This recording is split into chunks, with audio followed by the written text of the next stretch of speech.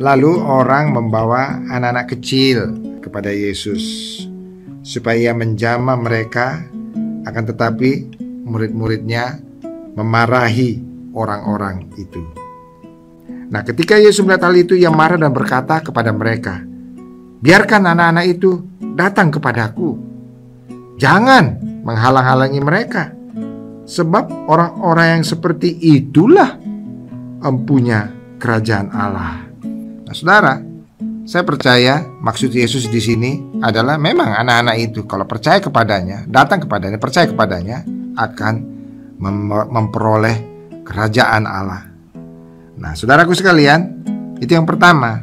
Lalu kemudian yang kedua, Yesus berkata begini, Aku berkata kepadamu, sesungguhnya barang siapa tidak menyambut kerajaan Allah seperti seorang anak kecil, ia tidak akan masuk ke dalamnya. Nah, saudaraku, kalau yang ini, saudara, saya percaya dia berbicara kepada orang-orang dewasa.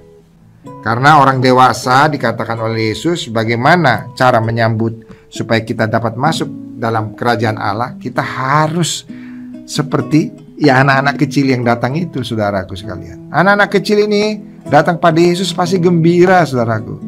Waktu disuruh orang tuanya datang, pasti mereka senang mereka pasti akan menyodorkan kepalanya untuk didoakan oleh Yesus, diberkati oleh Yesus, ditumpangkan tangan oleh Yesus. Pasti happy saudaraku sekalian. Jadi dia nggak memikirkan keuntungan dirinya sendiri saudara, tapi dia pasti lebih fokus kepada orang yang dia lihat sayang kepadanya. Nah saudara, Saudara dapat bayangkan dan saudara pernah pasti mengalami kejadian itu. Karena saudara begitu senyum, begitu sayang kepada seorang anak, anak-anak kecil Maka anak-anak kecil itu percaya pada saudara.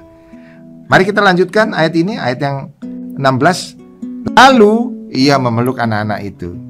Yesus memeluk anak-anak itu Dan sambil meletakkan tangannya atas mereka Ia memberkati mereka. Sudah dapat bayangkan Yesus datang dipeluk anak itu satu-satu lalu diletakkan tangannya diberkati saudara. Saya bisa membayangkan anak-anak itu pasti dengan uh, uh, memejamkan mata mereka dengan senang mendengarkan Yesus berdoa untuk mereka diberkati saudara. Mereka gembira sekali, senang sekali, saudara. Mereka dengan tenang, mereka percaya bahwa Yesus ini yang mendoakan mereka pasti akan menyediakan segala sesuatu yang baik pada waktunya. Dan itulah yang diperlukan kita. Maukah kita trust, percaya bahwa Yesus itu adalah Allah yang memang mengasihi kita. Dan saudaraku sekalian, dan kasihnya saudara, bukan soal hanya masa rezeki di muka bumi ini. Tetapi kasihnya sampai menyediakan rumah di sorga. Bukan rumah di bumi saja saudaraku sekalian. Ya, itu merupakan sesuatu yang bisa jadi di, diberikan Tuhan, tapi rumah di sorga. Saudaraku, itulah tentang kehidupan kekal. Itulah tentang kerajaan sorga, rumah yang disediakan Bapa di sorga.